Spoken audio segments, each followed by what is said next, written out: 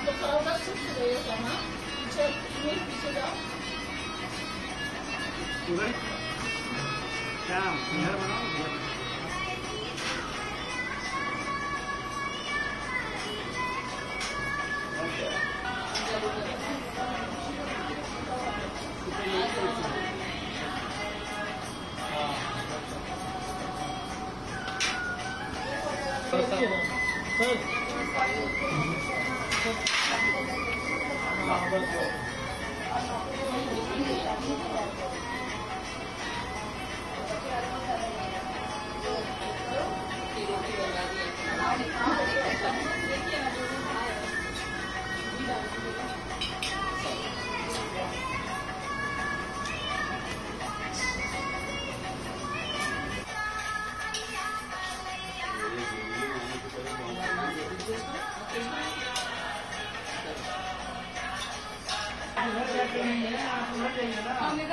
दूसरा चीज़ बनाने लगे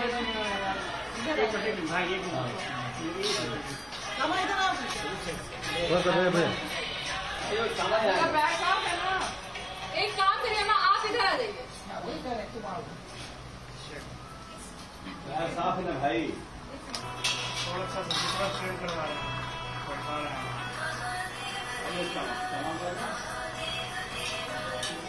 आइए आइए कंपटीशन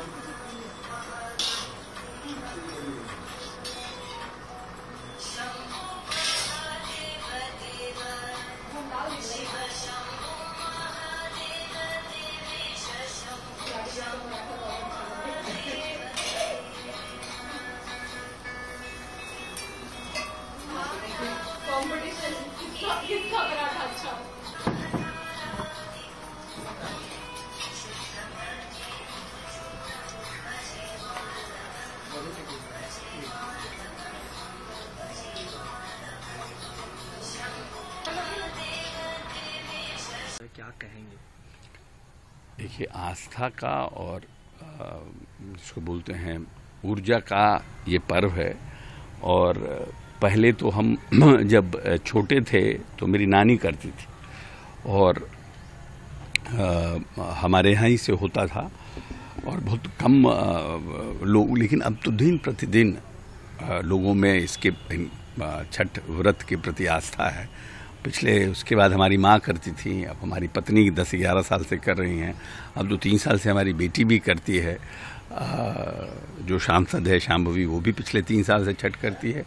और मेरे एक सबसे छोटे भाई हैं जो सिंगापुर में रहते हैं, वो भी दो साल से शाम्भवी को देखा देखी, वो भी दो साल से छठ कर रहे हैं। तो हमारा पूरा परिवार पूरी तरह से छठ भगवान सूर्य के प्रति समर्पित है। और मैं समझता हूँ कि अकेले ऐसे भगवान हैं जिनको हम लोग देख पाते हैं। सब परिवार प्रसाद भी आप बना रहे थे तस्वीरों में नहीं पूरा जो होता है ना एक फैमिली का रियूनियन है सब एक तरह से जो जहाँ भी हैं हमारे बड़े भाई के बेटे हैं उनकी होने वाली पत्नी भी आई हुई है सब पूरे पूरा जो है और जिसको बोलते हैं कि भगवान सूर्य ही ऐसे देवता हैं जो बोरे पूरे पृथ्वी पर समान रूप से सबको अपना आशीर्वाद देते हैं।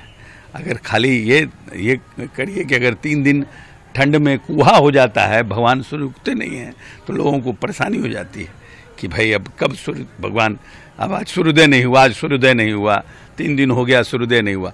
सोचिए कि पूरी पृथ्वी पर समान रूप से अपनी ऊर्जा, अपनी उष्मा का, को देने वाले आराध्य हैं।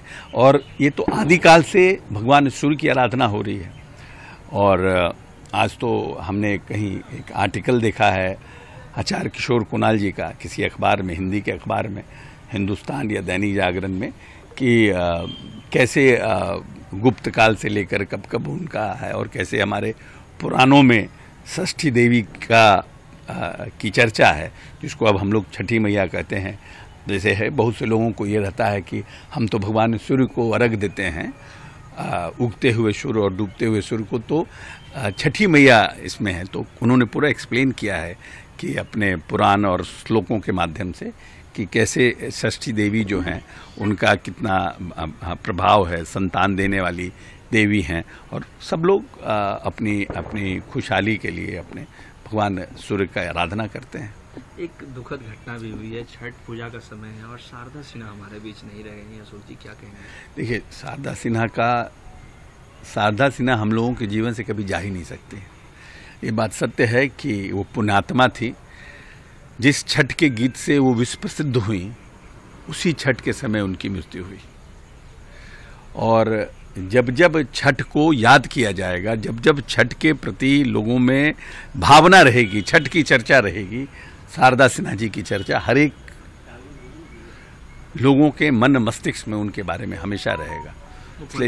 सम्मान नहीं अच्छी बात है। निश्चित रूप से वैसे प्रतिष्ठित जिनको लोगों को जिन्होंने बिहार के गौरव को बढ़ाया है उनके लिए तो राजकीय समारोह होना ये मुख्यमंत्री जी का बड़प्पन है। मुख्यमंत्री जी का और हम समझते हैं शारदा सिन्हा जी ये राजकीय सम्मान के काबिल थी।